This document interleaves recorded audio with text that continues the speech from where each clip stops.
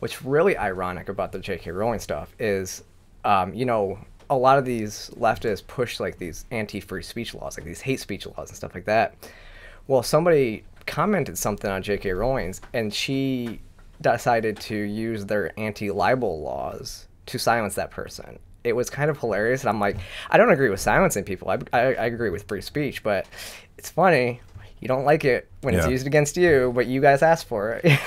yeah, I, I, I saw that, and uh, the the person she did that to, at least one of them was, I mean, as the woke left does, they're throwing around the word Nazi or fascist. Yeah, yeah, yeah. it's yeah. like- They called her a Nazi, and I was like, "That's libel." Yeah. Boom. Yeah.